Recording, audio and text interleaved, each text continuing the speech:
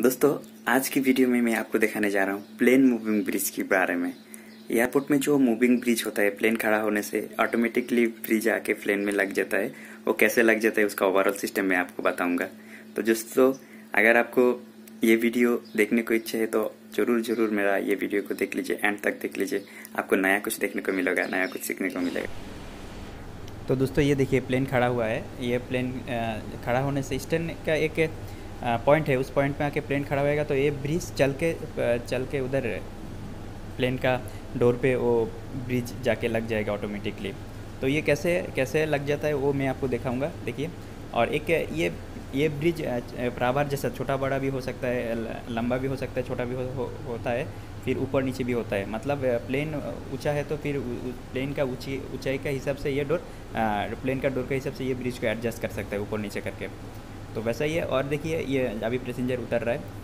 आ, तो पैसेंजर उतरने के बाद फिर पैसेंजर घुसेगा। ये मतलब एक घंटा का अंदर नया पैसेंजर नया पैसेंजर भी अंदर घुसाएगा फिर सामान सामान डिलीवरी करके फिर सामान नया सामान भी घुसाएगा तो एक घंटा के अंदर ही सब कुछ हो जाएगा। देखिए यह है मूविंग ब्रिज का जो ड्राइविंग पॉइंट है। मैं दूसरा दूसरा ब्रिज में आकर आपको दिखा रहा हूँ। देखिए, जो बस जैसा, बस पे जैसा ड्राइवर बैठता है, ड्राइवर बैठ के ड्राइव करता है, ये भी ऐसा ही सेम है, कुछ ऐसा सेम है। फिर क्रेन जैसा चलाता है ना, ये वैसा ही है।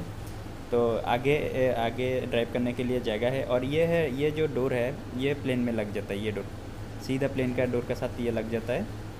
तो फिर यात्री यात्री पैसेंजर उतरता है। देखिए, ये ये ब्रिज के अंदर से लिया है मैं। ब्रिज के अंदर अंदर का हिस्सा ये ब्रिज रबर जैसा है, लंबा भी होता है, फिर छोटा भी होता है।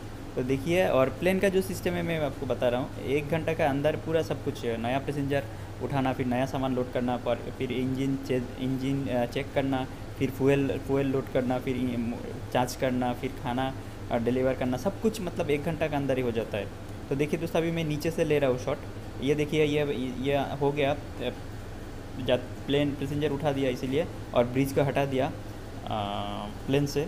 अभी देखिए फुशबैक मशीन से प्लेन को रानवे पे लेके जा रहा है क्योंकि प्राइवेट प्राइवेट प्लेन में बैक गियर है, होता है। कमर्शियल कमर्शियल ज़्यादा से ज़्यादा प्लेन में बैक गियर नहीं होता है प्लेन को। धक्का मार के पीछे धक्का मार के लेके जाना पड़ता है रानवे की तरफ़।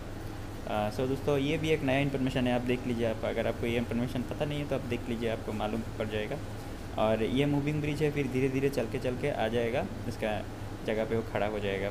तो उम्मीद है आपको अच्छा लगा होगा ये नया इन्फॉर्मेशन तो दोस्तों, उम्मीद है ये वीडियो आपको बहुत अच्छा लगा होगा। अगर ये वीडियो देख के आपको नया कुछ देखने को मिला तो ज़रूर ज़रूर मेरा चैनल को सब्सक्राइब कीजिए। और मेरा और भी बहुत सारा वीडियो है एयरपोर्ट के बारे में एयरपोर्ट का कस्टम्स लॉ के बारे में।